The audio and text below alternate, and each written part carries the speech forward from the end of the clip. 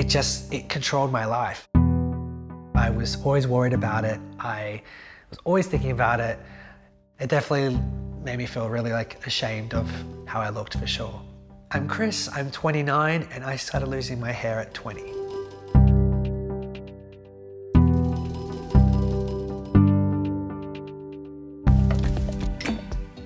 I was a contestant on So You Think You Dance, starring in the show and it was just such an exciting time. When my hair first started thinning, the hairline had moved way back in my head. It was kind of just rapidly just kind of going instantly. I couldn't handle the thought of someone looking at my hair or touching my hair because of how bad it looked and I was so ashamed of it.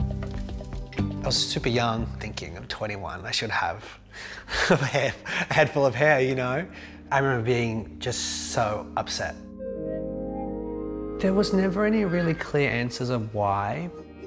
Doctors were just kind of saying that it was either hereditary or it can just happen. Most of the options had a lot of side effects. You know, the medication made me really worried that uh, if I was to take it, is it worth the hair growth? You know, the hair transplant isn't 100% guaranteed that it can stay forever. The best result we got was like a hair growth cream. It took about three months for it to kick in and by like 22, it, it had come back. So it was like a good kind of six months of using this cream and it was just so exciting. So I was living in Los Angeles when I received one of the worst phone calls I, I probably could have ever gotten in my life. My mum had passed away, and I guess in that time, the stress was like unbearable. Immediately my hair just, just started to fall out again. I just thought like, that's, that's it. Like it's, it's not gonna come back again. I was consistently trying to hide it. Even for me to just go to the letterbox, I would put a hat on. It was just exhausting. It was like always worrying about what I looked like that I just thought the only option was to completely get rid of it. Being in the entertainment industry is, is hard. You're being judged every second on how you look.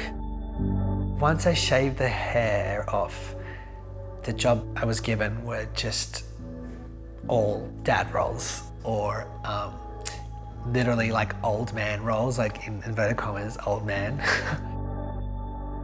it was just so disappointing. That for me was like the final straw when I started seeing those words. I was like, I have to do something about this. If I had known how simple getting a hairpiece was, I would have done it years ago. I definitely think there is stigma around hairpieces and toupees today. There's no difference with a woman getting extensions and a guy getting something for his hair. I think it's exactly the same thing.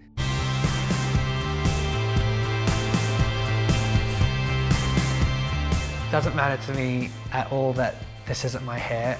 I actually forget that it's not mine most of the time um, because it's just, it's connected to my head and I feel amazing. I feel probably the best I've felt in years. I feel so good about the way I look. I feel good on the inside. I felt like there wasn't enough talk about hair loss. The more we speak about this, the more it becomes normal and the more it's just a normal conversation. It takes a lot of courage and strength to put your hand up and ask for help.